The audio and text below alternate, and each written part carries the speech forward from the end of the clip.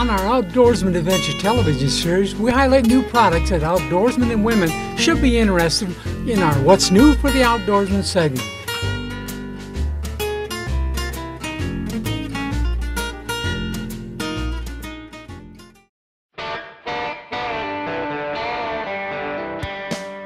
Well, we're here with Gary Kubicek from Country Vet Dog Food. Why don't you tell the folks a little bit about the, about the natural?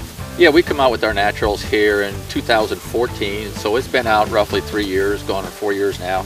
And uh, it was a product line that uh, we had uh, taken about five years to develop.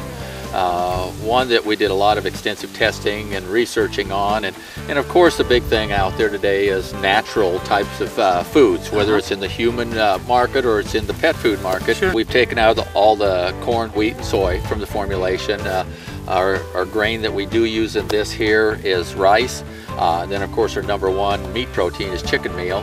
And then what we've done is we've added uh, additional probiotics and prebiotics in it. Uh, we've upped the yeast in it, all designed to improve the gut health for the dog. And You've got it for puppies on up, is that right? right, right. Uh, we have it for uh, active dogs, which is this is our 30-20, uh, 30 protein, 20% fat.